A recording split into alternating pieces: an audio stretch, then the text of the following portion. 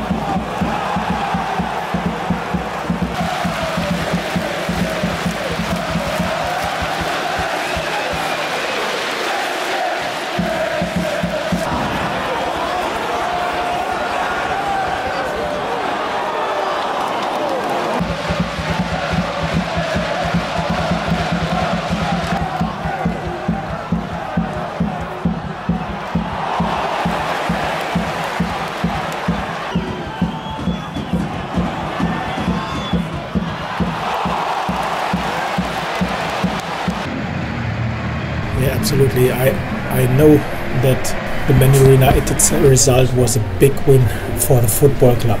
Today, this was a big win for us as a group